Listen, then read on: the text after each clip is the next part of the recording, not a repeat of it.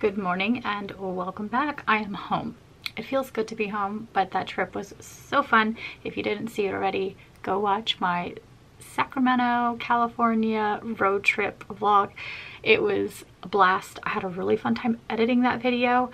Yeah, just go give it a watch if you haven't seen it already. It's packed full of adventures and outfits and hair and makeup and thrifting, all the good stuff. This video is going to be very similar actually in the sense that we're going thrifting, I'm gonna show you my outfit, and then we're gonna head off to an adventure. We are going to Everett, Washington. A friend of ours has a tattoo shop up there and he is hosting an event today. I found that right down the street from where this is all going on that there's the thrift store. I want to show you this amazing shirt that I got. I waited forever for the Theory, Mugler and H&M collab to come out. I was able to get my hands onto something and I'm wearing it right now. And it is this Theory Mugler, please Seanna, please be saying that right. Should I check first? in French and France it is said as Thierry Mugler. anyway, uh, I have on this Thierry Mugler shirt that I was able to snag in a size two sizes too big. The sleeves are less capped but I don't mind and you can't even tell. But I love it so much. It's definitely a really good quality t-shirt. It has the Mugler emblem on the back of it and then I put on the alien perfume. I'm gonna wear it today. We'll see if I get any compliments on it. I did kind of spray it a little heavy and it's a pretty intense fragrance. People have been stopped walking down the airport and asked what they're wearing. Anyway, I'll have all of that linked. I've been doing this lately and I'm really enjoying it. I'm doing lookbooks where everything I wear, my outfit, my perfume, my lipstick, all the details are on a lookbook post on my website. So it's shoppable if you want. I'm not trying to promote this like buyer industry, but I get asked a lot what I'm wearing or where I got something or this, that, and the other. And I've had complaints when I don't. So I kind of am stuck because I don't want to seem like I'm just pushing things on people. You know, I love to thrift and I love a budget but if I'm going to be asked, I'm just going to offer it. Anyway, I need to get going. We're gonna stop by the Mad Hat Tea Company on the way out. They have kava tea. Kava tea is a root that is known for its calming effects and it's ground into a tea form powder and then turned into like almost tea milk and it's so good. You do want to do that kind of tea in moderation because I know that it can tend to affect your liver. So you don't want to drink it like excessively, but that's like most things. But yeah, so we are just basically gonna get it whenever we have a stressful drive or something like that because Everett is on the opposite side of Seattle. So where we are in Tacoma, there's Seattle, there's Tacoma, and then there's Everett. So it's the opposite side. We gotta drive through the city to get to it. All right, here's what I'm gonna wear today. This is the Thierry Mugler t-shirt. So this is a little Amazon white skirt. I have on my bloomers underneath just in case my skirt blows up. I don't know what accent that is. The cowboy boots that I got in Sacramento and I didn't speak through the clothes but these actually are brand new based off of the look of the bottom of them and the inside. So I scored myself my second pair of cowboy boots brand spanking new and guess what? These are actually my size. These are eight and a half, which I'm an eight, eight and a half. I actually got a pair of boots my size. And I love that gold detail on the front of them. And that's it. Cool. Cool. All right, we're gonna get going.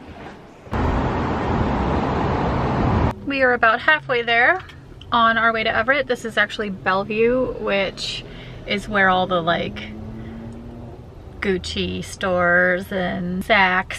What else is over here?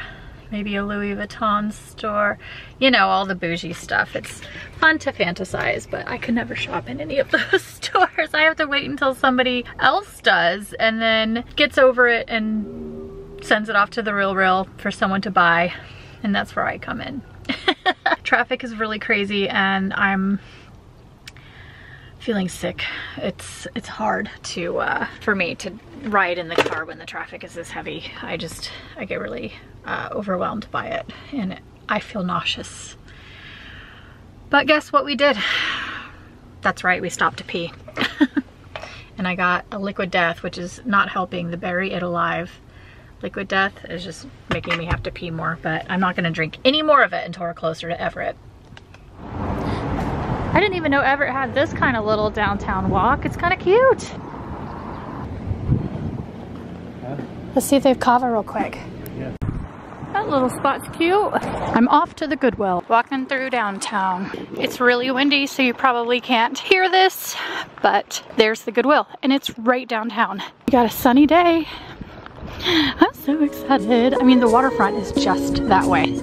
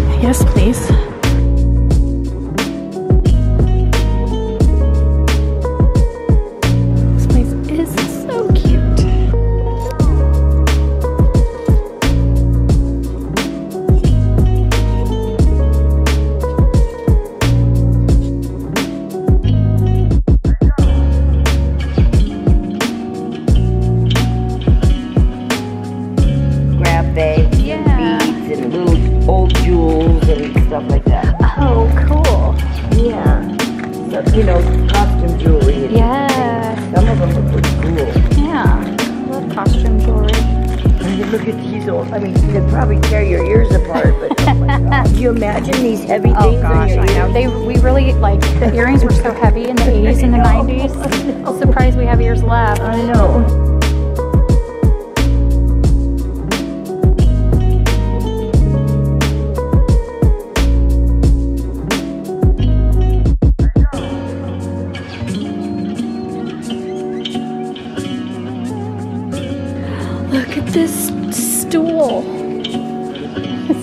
Vintage stool. This is called Funky Stool.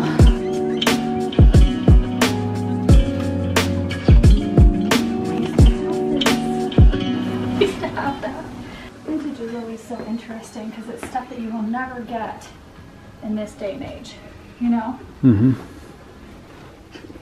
Five bucks. Get it.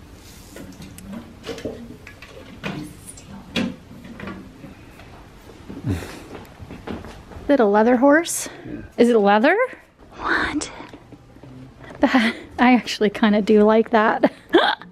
Creepy room. This room you walk in and it goes la la la la la la. Come play with us. Sus. Look, it's me.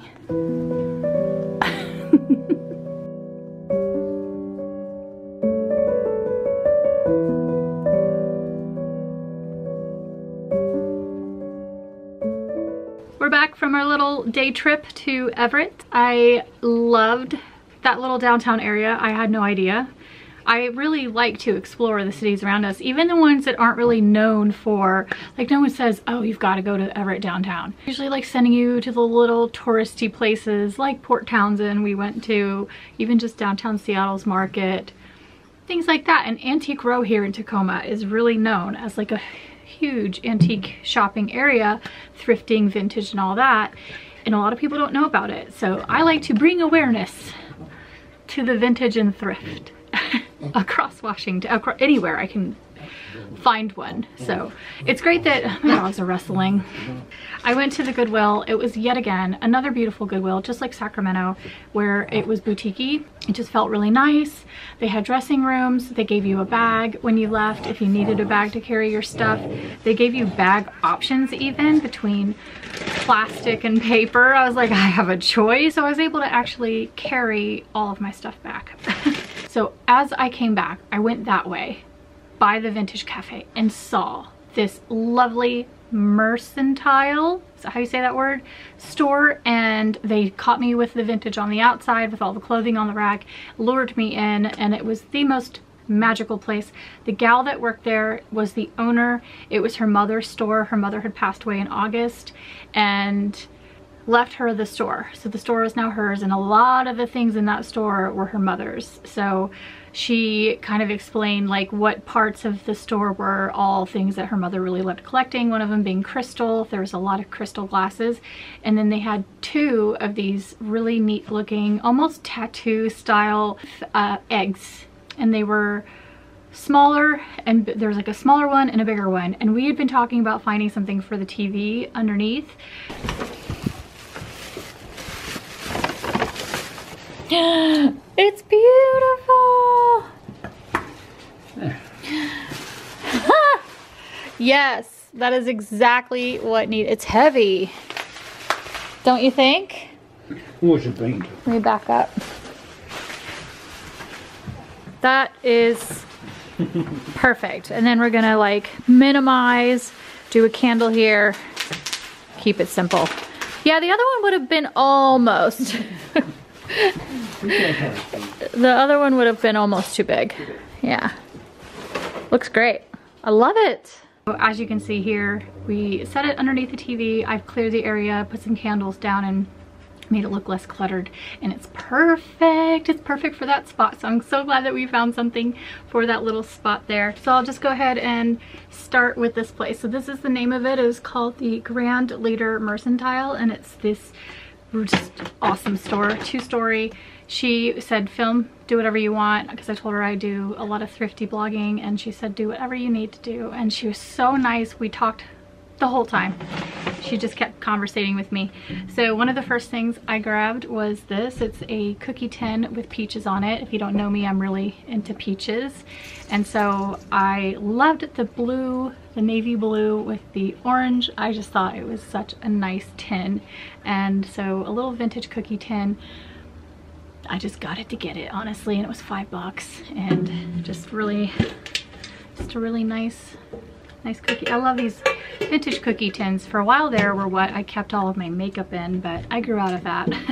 then clothing wise there, there was a lime green lace kind of jacket button up. So a vintage shirt in this lovely lime green color not something I have a lot of in my wardrobe, so I just had to have it. I'm going through a lace phase right now. I do that a lot. I find one thing that I love and then I kind of just, that's all I look for. And I really like this shirt a lot. I didn't even try it on, so I'm hoping it fits. Another thing that I loved so much is this hand knit black beanie. I'm probably not gonna wear it until autumn, but oh my God, it's so cute. I love it so much. All right, what else? Okay, so then the last thing that I got there at, oh no, I got two more things at that shop. One of them being a pair of costume jewelry style earrings. They were only $2. I really liked these earrings. Those, And I don't buy jewelry often. I don't know why. I like jewelry, I just don't really buy it often. I think it's because I tend to have allergic reactions, so the jewelry that I have to wear is usually expensive or else I'm allergic to it. So I'm like, these are all brand new. It's a leaf banana clip and it's the exact color of my hair. And so I thought, perfect. I'm gonna use it. I should have bought two of these, honestly, because this is gonna be my new favorite clip. I can already tell. So that's what I got there at the Mercantile place. We had mentioned we were gonna stop and get some tea and the reason why we didn't was because the place we wanted to go to wasn't open yet. So while we were walking around downtown to go get coffee in Everett, we found a tea place and it was so cute. The inside of that place, I think I might have a new thing. I think I might now be obsessed with tea and tea stores and flavored tea. Here we go, it's a thing. Seanna turns everything into a thing. she, she always does. But what we ended up doing was asking them if they had kava because we are now kava lovers and we want to learn how to make it ourselves at home. So you want the authentic stuff because you will get the benefits of kava, which is basically like an anxiety remover in a way. If you drink it, you stop needing it. That's goals. and the guy of the tea store, we ended up stopping on our way back because we got the kava, but now what? So we asked the guy at the tea store we had meant to go to, which is the Mad Hat Tea Company here in Tacoma. This is where we wanted to go, so we thought, okay, well, we'll just stop on our way back through. They had kava as well, so we have two different kinds. We have the rose kava kava now, and we have the root kava still unpowdered, so you want it ground into a powder form. He told us how to do it, and he said it's better to do it in something with some sort of fat for the kama kava to, he says something about a compound adhering to a fat. So anyway, you don't do it hot like a tea. So we're going to steep it. We bought a little tea filter. Then also we went to the Colby Avenue tattoo shop, which is our friend's tattoo shop. And the whole reason why we went up is because a friend of my husband's and a friend of mine too, but he's a, a friend of my husband's. They talk all the time on Instagram. They're big tattoo, I wouldn't say tattoo nerds, but they're like really big tattoo collectors and just really into the whole, yeah, they just talk about tattoos like all the time. Anyway, our friend opened a shop up there. He was getting tattooed by him. It's the same guy who did my neck uh, tattoo. His name is Jamie King. He's really big in Seattle, uh, like heavy hitter in Seattle, I would say. Now he has two shops, one called Monarch, and then now he's co-owner of this one, Colby Avenue Tattoo. So if you're ever in Everett, go into that place and get tattooed because it's an amazing shop. It's huge and it's really nice. It's in a cute area. You can go get coffee. Just got a good vibe to it. And both owners are very nice people. Oh, I forgot to mention, speaking of nice owners, when we went into the Mad Hat Tea Company, he gave us coconut shells to drink our kava out of. He said he had extras and he brought out four. He said, just in case you have friends over and want to give them some kava too. So now we have some coconut shell kava tea drink, drinking bowls. I thought that was really nice.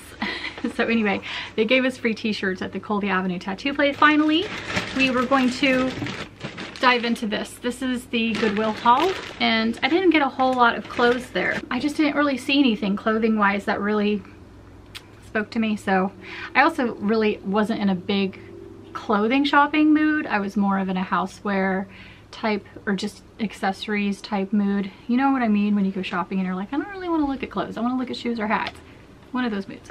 But I did find this skirt and it was the blue tag day for everything to be 50% off. This has the tag still on, which I keep finding at Goodwill. I found so many clothes lately that are brand new and it's just a little black pleated skirt and I really see myself wearing this a lot.